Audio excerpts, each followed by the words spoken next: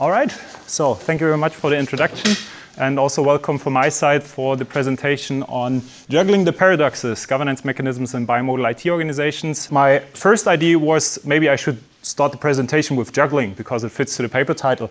But uh, then again, this would have been quite embarrassing for me. So I decided um, to choose a comparison from the animal world instead.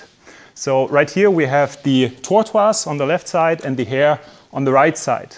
And we try to take this metaphor and apply it to the IS research domain. We arrived at the concept called bimodal IT. Gartner coined the term in 2013, saying that organizations have kind of a structural separation in their IT organization. So they have one unit, one department, which is um, very much focused on stability, efficiency. And then you have this other unit, this other department, which might have um, a larger focus on experimentation, innovation. Uh, similar to the tortoise and the hare, um, also in such different units in IT organizations, communication and coordination can be quite tough, can be quite challenging. Research already started in 1970s to talk about IT ambidexterity and having an exploitation mode focused on stability and having an exploration mode focused on innovation and experimentation and similar things. And bimodal IT is one common approach how such structural ambidexterity can be um, used or employed within organizations.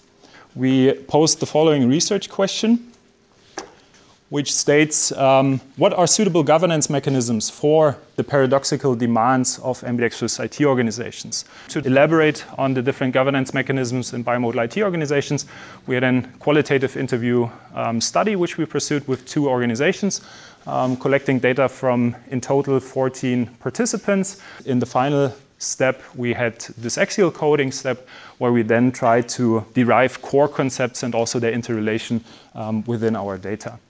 And what we found is that uh, you can first distinguish between transformational and operational challenges. And of course, the question arises so, what can you do about them? And here again, we distinguish into two categories of governance mechanisms. So, maybe starting with the impeding governance mechanisms. Those are governance mechanisms which are in place within the organization, which hamper the implementation or the operation of a bimodal IT structure. And then on the other hand side, we have the coping mechanisms, which are um, more blending or balancing the different challenges which you have within the bimodal IT organization. There are a lot of coping and impeding governance mechanisms which organizations use to manage bimodal IT. But some of those governance mechanisms might be paradoxical. So you have the general overarching paradox of I want to combine exploration and exploitation. But then you have, on a more detailed level, five additional paradoxes. What our paper tries to uh, put forward for practitioners is to show them what challenges they have to be aware of and how they can proactively approach them. Thank you for your attention. And yeah, looking forward for the discussion.